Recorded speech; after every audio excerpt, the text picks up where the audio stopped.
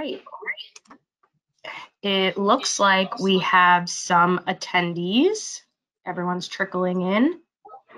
So we're just going to give it another minute um, and then we can get started.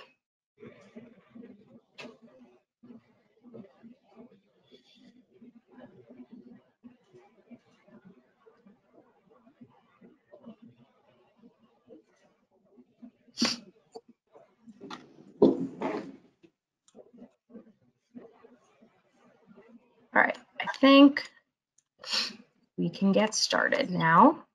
Good afternoon, everyone, and welcome to our MarketSmith Think webinar, Smart Start and Think Ahead using Research and Marketing. My name is Nicole Chiarella, and I'm the Director of Corporate Marketing here at MarketSmith and your MC for today's session.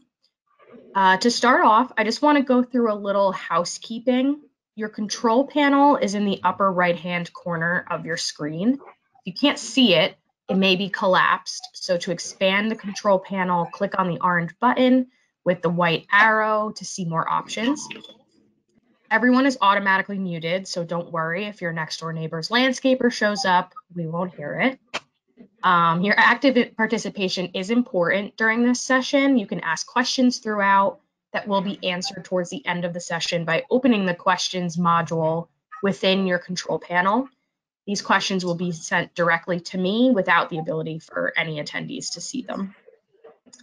A recorded version of this webinar will be available within the next few days and will be sent out to everyone who registered as well as linked on our social pages, which you'll see here. Please join us uh, by tagging and following us on social. Our handle is at MarketSmith Inc. Now, if everyone is ready, let's begin. Before I introduce you to today's experts, for anyone not familiar with MarketSmith, we are an award-winning full-service marketing agency located in Whippany, New Jersey, with a proven history in driving growth for brands at all stages in their life cycle. From product launches to changing brand perception, we approach every campaign with transparency, end-to-end measurement, and ROI-driven goals. Now, a little about today's panelists. Desiree Maurin is our VP of Client Performance here at MarketSmith. She is a seasoned professional with proven results in meeting client goals and managing budgets to ensure successful campaigns. Her experience is deeply rooted in the state of New Jersey, and she is highly focused on targeted campaigns that speak directly to segmented audiences. She serves as our in-house expert on regionalized strategy across creative, media, and outcome generation. Outside of work, Desiree loves to cook and visit different craft breweries, both in New Jersey and throughout her travels. Next, we have our EVP of Brand Strategy, Joseph Sharp. With 20 plus years of experience within media, Joe has always worn many hats, including planning, research, and analytics. He is a data driven collaborator, relentless team mentor, and client advocate with expertise across a diverse vertical set, including retail, finance, CPG, automotive, QSR, telecom, entertainment, and tourism. Whether focused on the here and now or looking to the future, Joe is always keeping his eyes open, driving mm-hmm. campaign strategy, and building and enhancing tools within our agency. When he isn't focused on client goals, he can usually be found behind a camera trying to find his next favorite picture. So please join me in welcoming Desiree and Joe. Thank you for having us. It's great to be here. Thanks for that introduction, Nicole. Welcome. So today we're going to discuss what goes into building a well-informed marketing plan, and in this case, starting at the beginning with research. At the end of this webinar, we hope you'll all have a better sense of what goes into primary and secondary research and how is a key step to ensuring your marketing plan begins on the right foot. So I'd like to pose a scenario to you two. You have a client that would like to speak to a very small niche target, but they're just not sure how to actually reach that target. What's the first thing you should do? Uh, Joe, would you like to go first? Absolutely. Um, well, Nicole, it's one of my favorite words and the reason we're here today. Research. That's the building block. That's how we build our foundation for all of our plans, our measurement, our optimizations. When you think about it, every opportunity that you take to learn something is research. Every plan execution that we implement is an experiment whose results are data for research. Every client brief that we receive is research to be analyzed to inform our target selections and to build our media plans. I know we're going to get more into that a little bit later, um, but so I don't want to spoil it. But research touches every part of our business. It gives us the foundation that we need to be successful for our clients. Um, and when we look at research, it comes in two basic forms primary and secondary. There's a lot of subgroups uh, within that, um, but those are the two overarching forms that I hope we'll, we'll, discuss today and that everyone will have a better understanding when we leave today. Um, and here at MarketSmith, we employ those in various ways depending on our needs and depending on our clients' needs at the time, um, including our state clients. And that's where, you know, working very closely with Des and her team um, come in handy.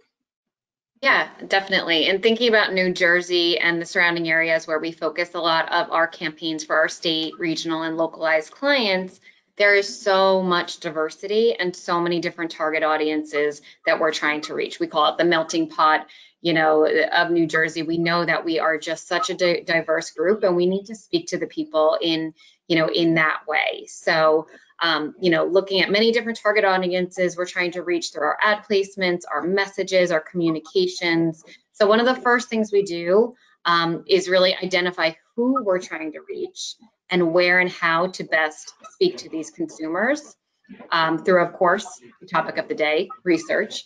Um, by focusing in on information that's available uh, to us and using existing con uh, consumer data, you know, coupled with like things like the latest 2020 census uh, figures. You know, we can drill down based on demographics such as age, income, uh, key demographics, key geographies. You know, there's so much uh, information available to us that we really have to utilize it, uh, you know, in our best interest and in our, in our clients' program's best interest.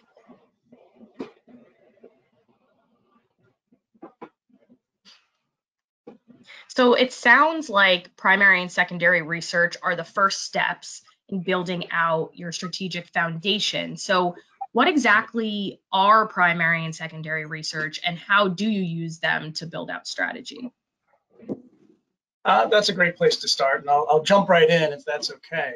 Um, primary and secondary research, like I said, are, are, the two basic forms, and there's many, many subsets, but let's start with primary research or first party research. So essentially, this is when you go out and you collect the data directly.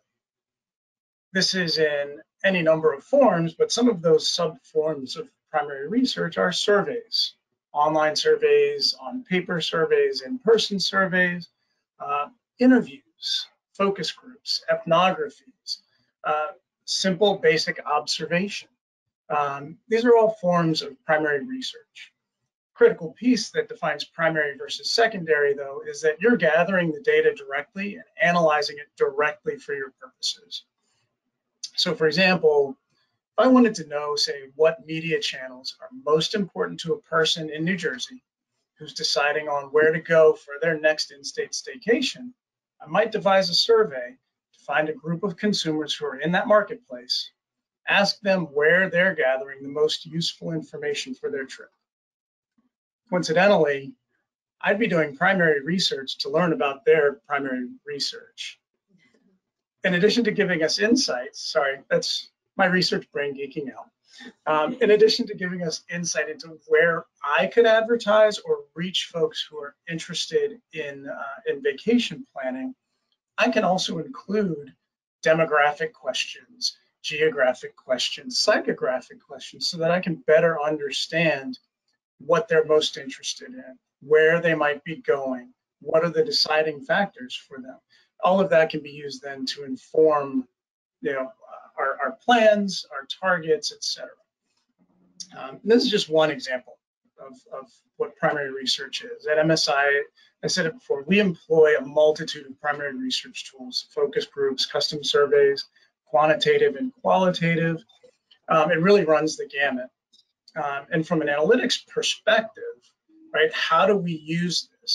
We take all of this information and work with our creative teams and our uh, client performance teams and our media teams to inform how and what we activate for each one of our clients. Um, secondary research, on the other hand, is essentially where you've taken someone else's published information or data and you're summarizing it for your use, right? So that can be an existing database, it can be literature, uh, it could be someone else's uh, focus group results. But the key differentiator between primary and secondary is someone else published that data, that information that you're taking and using for your own purposes.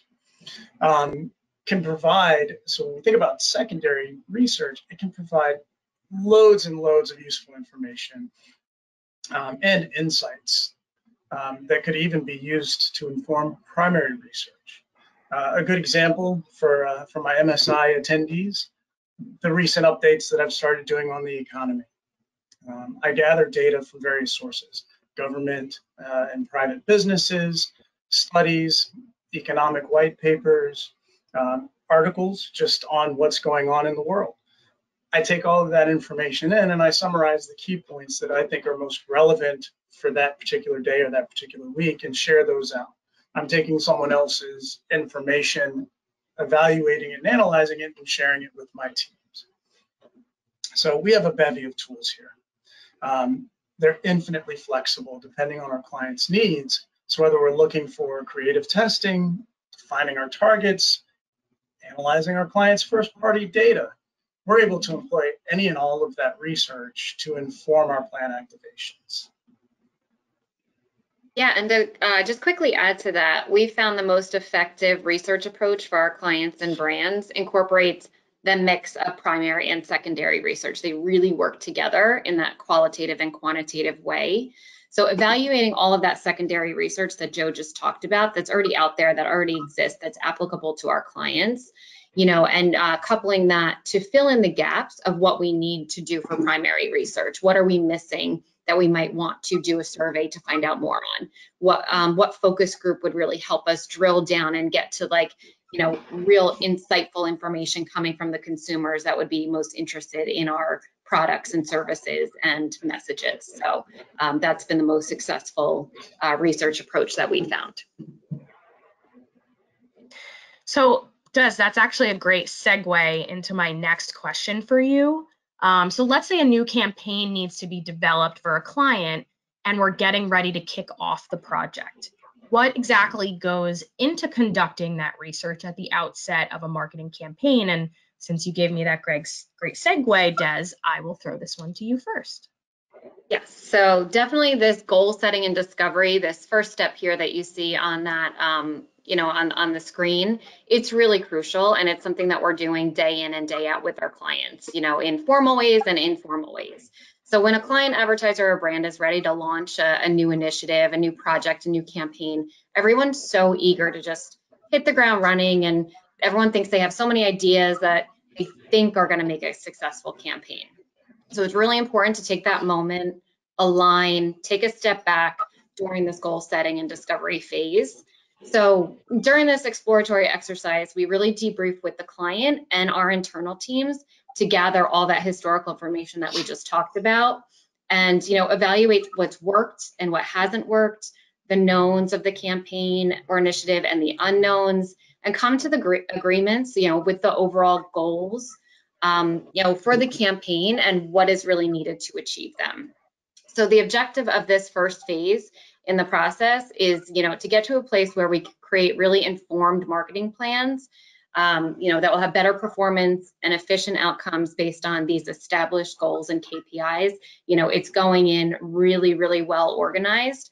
Um, and, you know, something that we won't go into a lot of detail here, but you know, we also work into this phase, you know, developing learning agendas, where the things that we want to be able to test and you know work into our different um, you know initiatives. Uh, so you know, it's something that keeps that going throughout the the process. So Joe, you know, you were talking about tools prior, um, when it comes to primary and secondary, how does your analytics team work in tandem with what Desiree and the account team are doing as far as understanding the client goals and using tools to help craft a strategy? Yeah, that's it, it's a, a, great segue. And Des, I want to thank you for touching on learning agendas because that's sort of the the heart and soul. Won't again get too deep into it, but that's the heart and soul of how we plan out our research plans and how we do work together um, is through those those learning agendas. So what we do is we take that discovery research, depending on the needs of our client, we develop a research plan to understand those unknowns that Des talked about. Um, we can dig deeper into those. We can start pulling them apart. We also look at the knowns and, and want to understand those more deeply as well.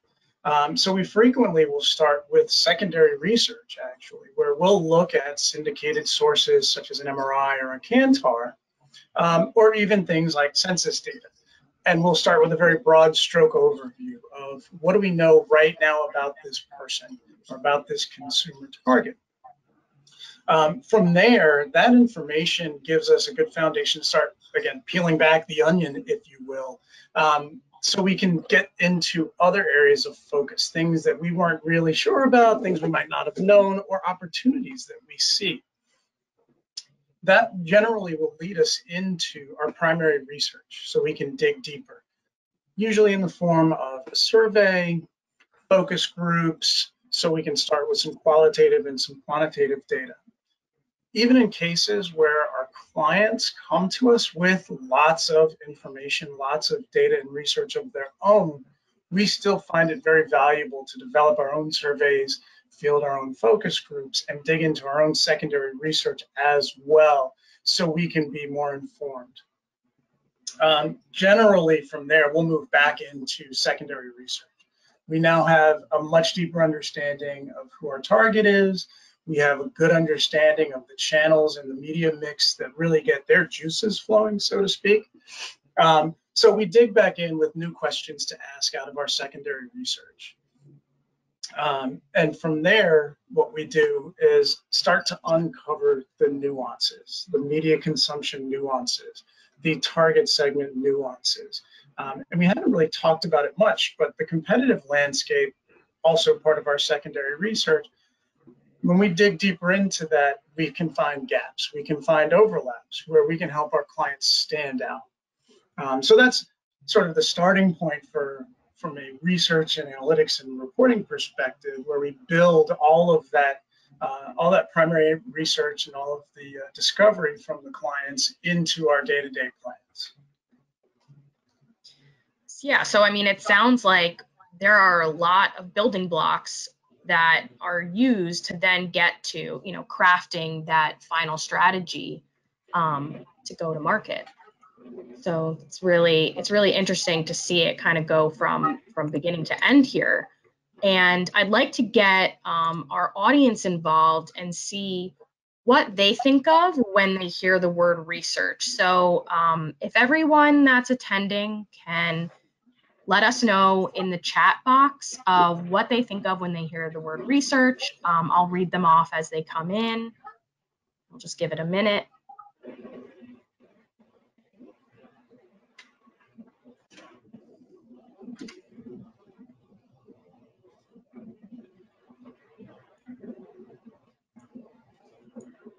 All right, so I see a few here. Um, I see information. Um, I see strategy, uh, discovery, feedback. Um, someone said lab coat, lots of equipment. um, let's see. Challenge. Um, exciting. Demographic insight, I think that's a really smart answer and someone who good one, probably knows research. um, let's see. I think that's it. But those are oh tools. Um, Nicole, no one said, no one said Davy, our, our research no one said Dave. When I hear the word research, I think Davy. Yeah, that's good. so- I always think curiosity when I think research. Information and, and discovery and curiosity to me all go hand in hand with research. Yeah. Definitely. And I think that's a it's an interesting mix of words, you know. I think there's there's adjectives and nouns and verbs here. I, I think the lab coat one was probably my favorite. Um, Yeah. but it is it's why we host when I come into webinars the like office this, right? yeah, exactly. All right. Um, so now that you've taken us through some ways that you would use research, can you give me some examples of how you've utilized it for clients? Um, I've outlo- outlined a couple of focuses here if you have examples to share. So, Des, uh, ladies first. Yeah, so we have a lot of examples of how we've utilized creative testing, um, you know, in our research process for our clients, since we do develop uh, and execute on um, the creative side of the campaigns, along with the the media execution that we'll talk about a little bit too. So um, one example that I want to take everyone through is um, MarketSmith and one of our current partners, the New Jersey Board of Public Utilities. Um, we're gearing up to launch a statewide awareness campaign for the New Jersey Clean Energy Program there hadn't been any marketing or advertising efforts behind the clean energy program in al- almost 10 years. So we really had a lot of work to do to bring that back and to you know start seeding you know this to new jersey again that this program was out there and available to them. So you know looking at you know engaging in research at the forefront of the project was necessary to ensure the direction, strategy, and delivery of our campaign approach would really resonate with our core target audiences, who was general New Jersey residents and homeowners, as well as a commercial and small business audience. So how we did this was, you know, putting our, our thoughts and ideas down to paper and then getting um, focus groups together. So we conducted multiple in-person focus groups, you know, probably about eight to 10 people in each of these groups um, across the state. Um, you know, different geographies and demographics included in these groups to really get a lot of different opinions and thoughts, you know, for the most, um, you know, robust takeaways. Um, from these responses and these learnings gathered, we were able to gauge that overall our campaign strategy and approach was was really well received. You know, we we were on the right track. Um, but we did have some learnings based on the key messaging points that we were able to make adjustments to before we went into market. You know, things that we thought were really um, good insights to apply right off the bat. So what we really found from these focus groups that, you know, people were most interested in the money saving component. You know, everyone said, you know, if this is something I can save money for, for my household or for my business, I'm really interested in learning more and the fact that they were doing some kind of good for the environment, their community, and New Jersey, you know, through having some energy efficient measures and you know clean energy. So those were the two things that we we took away and really morphed into all of our campaign and our messaging, and you know so far have seen really good success, um, you know, with that initiative. Yeah, I mean, I like when people tell me how I can save money. So I think that kind of makes sense, you know? Pretty Right. important these days. Especially with the price of energy. Mhm. True. Um, so that leads me to the next uh, kind of bucket that we have here. Um, when it comes to one-to-one customer messaging, what kind of research can you accomplish there? Yeah, I think that's, you know, for us at, at MarketSmith, we do, as Des said, we've, we've looked at creative testing, sort of broad stroke, but smaller focus groups to get really deep insights. I touched on some syndicated resources before, um, which are very broad and very broad in general. One to one, it, it can be a very interesting um, place uh, to do research. And one of my favorite examples um, since I've been here is uh, working with uh, one of our state-based uh, New Jersey clients.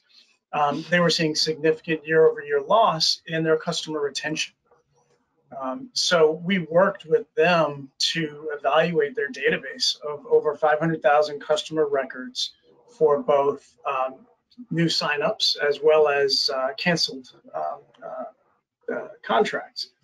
Um, and so we took that information, cross-referenced long-term customers, new customers who've been active for less than 12 months, uh, people who have canceled in the past several years to develop a four-tier communication strategy for them um, that included retention, upsell, conversion, reactivation.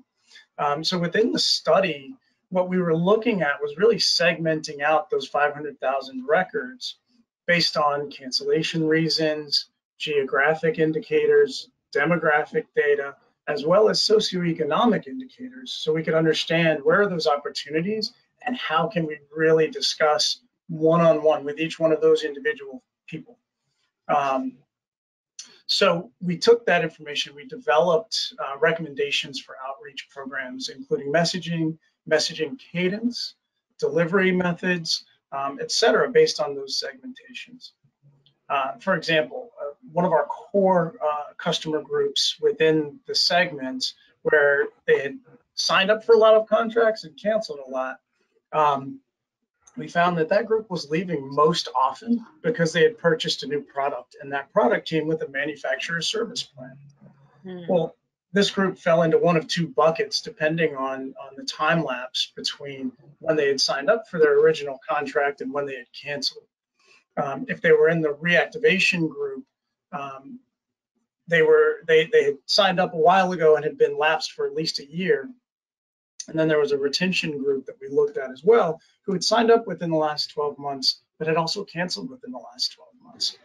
Um, so with the retention group, sorry, with the reactivation group, we looked at it and said, you know, these folks should receive messages periodically to remind them, for example, that a manufacturer plan is limited, that they can reactivate the plan through this client at any time. Um, so just a, a, quarterly cadence of don't forget, you can add this, your manufacturer's plan is going to be limited. Uh, yeah. Within the retention group, right, what we saw, again, the highest number of cancellations was within the first 12 months. That's huge. Well, to retain those customers, a regular, and more regular cadence, an electronic cadence, meaning email, um, text messaging, et cetera, could be utilized to remind them of the value that they were getting with this particular client, right? Um, so there's an opportunity there uh, with, with both of those. But we took a database of 500,000 consumers and broke it down to this is how you can communicate with these people literally one-on-one, direct mail, email, text messaging, but literally one-on-one messaging with this consumer group.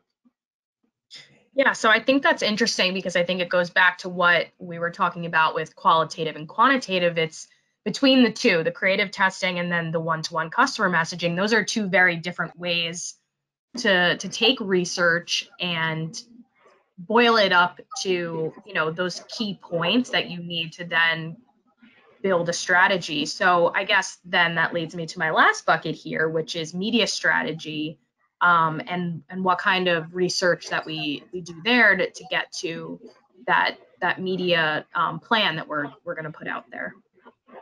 Yeah and i think it's a it's a great segue there as well nicole. Um, both of the creative testing and the one-on-one segmentation included qualitative and quantitative aspects, right? And when we think about uh, incorporating research to drive a media strategy, you have to cover both of those as well. Um, mm-hmm. to me, I think a great example of that is um, is the Department of Human Services for the state of New Jersey um, and their Reach NJ uh, medical medication assisted treatment program. Um, I always get tripped up on that and want to say medical assisted treatment, but so we always use abbreviations here. it is a lot easier to say three letters. sure. um, so this one, this one covers off on on a couple of things, but it's essentially a twofold story where we looked at both creative development and and Des can probably get into a little more detail there, um, but also media channel insights. Um, so through focus groups, we discovered that the most significant impact that substance use disorder had on on con- customers, consumers, was loss of connection to their family and friends um, that that substance use can can drive or lead to. And that led us to a focus of the campaign where a lot of uh, family connections and a lot of family interactions happen, which is the kitchen table, right?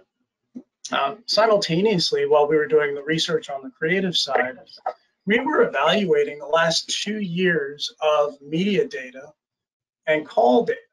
So looking at each individual week for the media channels that were active and how call volume reacted to the media channels that were implemented at the time.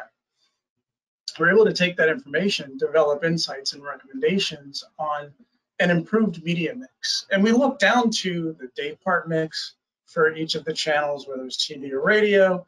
Was there a geographic mix with our at home that really performed better or worse? We looked at it from a multitude of, angles. All of that informed our newest campaign, and the implementation of those recommendations led to an 80 to 85% increase in call volume while media was active compared to prior periods. Um, wow. And for us, internally, that's huge. This campaign literally is saving lives. So it's critically important. And we were able to, to take our media knowledge, our media expertise, and our research and drive stronger engagement with, with the state of New Jersey. Yeah, I think that's you know such a perfect end-to-end example and you know another media strategy and tactic that came out of you know these learnings is you know we did see such an increase in the call volume when the media was running and active you know during some downtimes that we didn't have any media that was um, running and in market the phones weren't ringing people weren't calling so we knew our our media was the driver of that so from that we came up with an you know an always on media strategy. We knew we always had to have something in market and running, um, you know, to keep those uh, calls going. So, you know, having all of these, you know, learnings at the onset of the planning process, you know, coupled with, you know, what we learned across the different waves of the campaign and continuing to do follow-up, you know, surveys and, you know, metrics by looking at our ads that were driving the strongest interactive interaction and engagement. You know, we really, you know, stay on top of this and it's, you know, kind of something that we're just going to continue to be using this research, you know, to optimize our approach, inform the marketing strategy for all future um, efforts, and then find new opportunities to reach our audience in an impactful way. You know, this isn't, we did research, then we, we moved on, you know, it's continuing to do that research throughout. Yeah, and I think this is a great example because I started out by saying that this would be, you know, the building blocks for a strategy. But like you just said, this is something we're continually utilizing to get to our strategy and how to make it better and optimize it. So I just wanted to say thank you to you both. I think this was really insightful and hopefully all the uh, attendees learned about research today. Um, I will ask if anyone has any questions. Uh, now's the time to put them into the question module. But before we dive in, um, we would like to again invite you all to follow us on our social channels. We share lots of information, client updates, and agency happenings daily. So we hope you'll stay in touch. Um, so I'm going to give it a second. Um, we have a couple of questions here. Um, but I'll give it one more minute to see um, if anyone has any other questions.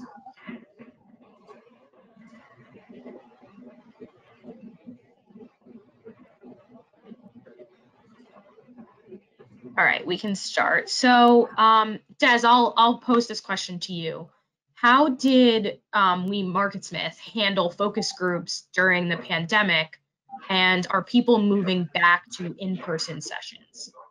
Yeah, that's such a, a great question and something we definitely needed to um, to work through because of the pandemic. So um, we did uh, did still conduct focus groups during the pandemic uh, in online virtual settings. So we were still able to um, get people into online groups. Um, you know, have a moderator facilitating these online sessions, similar to what we're doing here right now. It's still a great way to communicate. Um, and we were still able to do those focus groups virtually. Um, kind of the times have changed with the, the way that we do that. So we'll continue to do focus groups virtually, I think, in the future as well. But definitely getting back to doing the in-person focus groups, um, it has shifted that way um, because you see a little bit more in person. Um, you see body language. People might feel like they want to open up a little bit more. Um, so definitely having both of those options is key. And then during the pandemic, we also utilized online surveys even more. Um, they're such a timely way to get something out and to get quick responses back and be able to evaluate them quickly. So online surveys, pre-pandemic, post-pandemic, you know, all the time is a great way to um, to, to capitalize on the research. Great answer. Um, so the next question we have here, and Joe, I will pass this one to you. Do you have to have a large budget to do meaningful research? No, you don't. You don't have to have a large budget to do meaningful research. Uh, focus groups are a good example of that. Um, online surveys, I think, are a great example of that. Um, for fairly low cost uh, you can get really in-depth, very pointed with the questions that you're asking or very in-depth information on customers that you want to talk to. Um, so very short, no, but uh, very long. There's a lot of flexibility within the world of research to gather information. Um, and that's for primary research. For secondary research, think about the internet. There's a ton of data out there that's published that's just dying to be found and utilized. And there's really no cost other than an internet connection to get to that data. So yep. I think there opportunity abounds. Yeah, and that discovery, you know, goal setting phase that we talked about, you know, that's something that's incorporated in our, you know, our scopes of work with our clients because that's just mm-hmm. something that needs to get done, you know. So, um, yeah, that side of it, there's not a, a, big cost that goes into it. That's just part of um, partnering and doing business, you know, to get all that information.